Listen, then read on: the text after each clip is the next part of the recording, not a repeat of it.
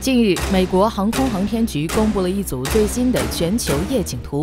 就全球范围来看，夜晚灯光最亮和最密集的区域都集中在发达国家和一些大的新兴经济体，其中美国、日本、韩国以及欧洲、中国、印度成为全球最亮的区域。对于制作这张夜景图的初衷，美国航天局解释道：“它可以反映出世界各国的工业化和发展水平。”也能看出世界人口集中分布情况。不过，有网友却在夜景图上看到不可思议的一幕：印度夜晚居然比中国还亮，也让很多网友叹息道：“中国电力发展这么多年，竟然还是这么落后。”然而，事实是我国电力总装机量高达印度的五倍，印度夜晚比我们亮这么多，明显是不可能的。对此，知乎网友查阅了相关资料，最终发现了问题所在。这张图居然被人 P 过，至于到底是谁 P 的，不得而知。不过，中国近些年的电力发展速度却是毋庸置疑的事实。据相关数据统计，中国电力发展在民国时期还不及美国的两百分之一。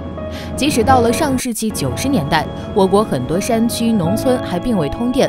用的是蜡烛、煤油灯等。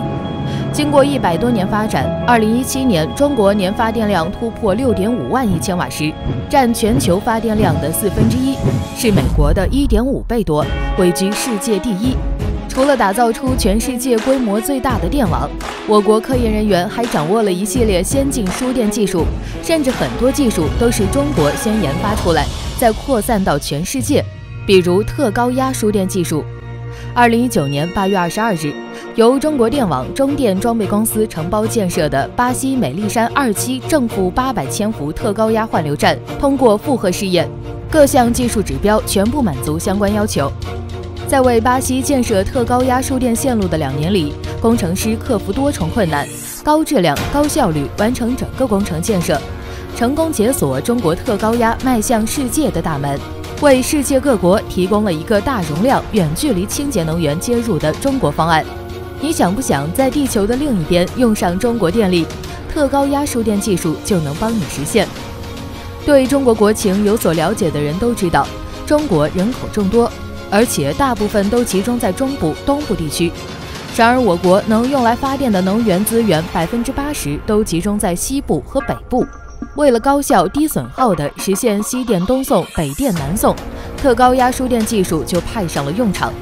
中国电力工程师用二十年将其发展到世界领先水平，其他领域不敢说，但在电力领域，中国是实至名归的世界领先国家。每年都会有不少外国人来国内留学。现在，澳大利亚、意大利、希腊、巴西、葡萄牙等国的电力系统背后都有一个大力支持的身影，那就是中国国家电网公司。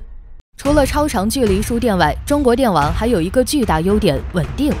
二零一七年夏季，由于持续高温，全国二十多个省的用电负荷都突破了历史新高，其中江苏的用电负荷突破了一亿千瓦。一亿千瓦是什么概念？德国全国的用电负荷是八千两百万千瓦，也就是说，我们一个省的用电负荷超过了一个国家。在这种情况下，中国的电网供电系统没有出现任何差错，而其他国家面临这样的问题却是另一个做法。近日，美国德州市的居民用电价格突破新高，一度电达到四十六元人民币，而最高峰时电价增长至六十三元一度电。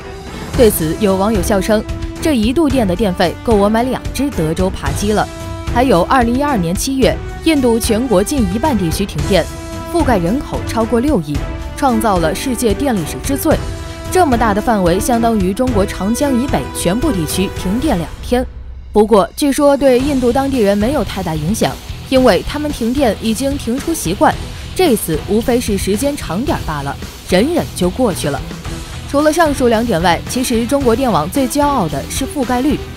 欧美电网是由私人掌控，往往会考虑成本，人烟稀少的地方就难以保证供电，而中国国家电网的工作就是要让所有人都用上电。哪怕他们在深山荒漠，哪怕他们一百年的电费也收不回一条线路成本，但只要他们脚下踏的是中国领土，国家电网一定会把电力送到家门口。